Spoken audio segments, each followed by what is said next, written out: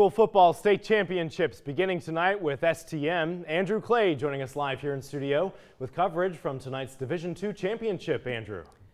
Well, Jim, fallout from the deepening split in the LHSAA meant the select school state championship games are not being played in the Superdome this year. And for St. Thomas More, that means the strange and rare chance to win a title on your home turf as the Cougars hosted De La Salle tonight.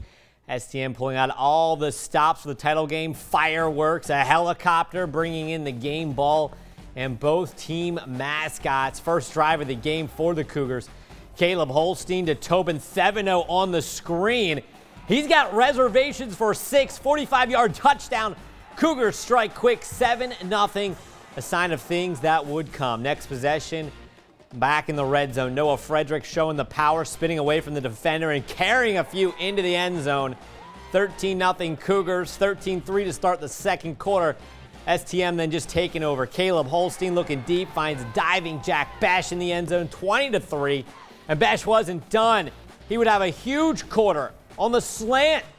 He ignores the speed limit signs and races in for his second score, 27-3, now 30-3. Final play of the first half. Holstein looking for Bech again, deep in the end zone. Amazing catch in the back of it.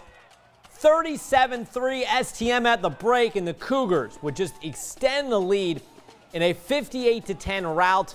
The Cougars' first state football title since 2016. We'll check in with Seth Lewis at Cougar Stadium coming up in Sports Plus full coverage from the semifinal games involving Acadiana and Jennings High Schools. Jim? All right, Andrew, thanks. New tonight, the mayor of Washington.